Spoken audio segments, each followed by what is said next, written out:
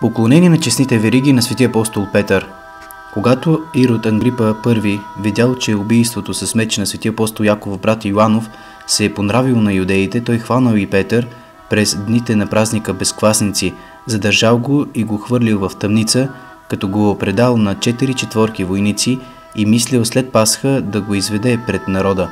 Апостол Петър бил пазен в тъмницата, а в това време църквата непрестанно се молила Богу за него, а когато Ирод щял да го изведе през нея нощ, Петър спял между двама войници, окован с две вериги и стражи пазили пред вратата на тъмницата.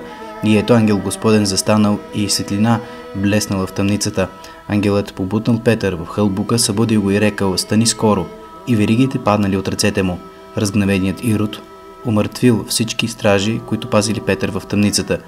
По-късно учениците на апостол Петър успели да се здобият с веригите на първовърховния апостол и те били предадени на поколенията в продължение на векове като скъпоценна и чудотворна светиня.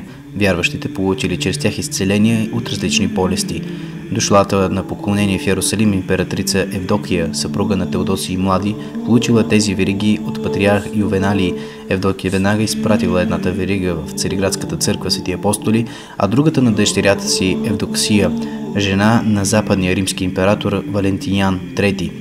Евдоксия построила храм в чест на апостол Петровите вериги.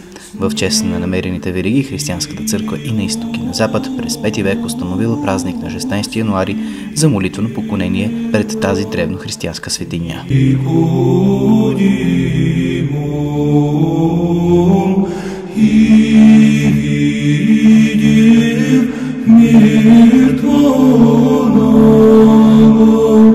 Милосердный,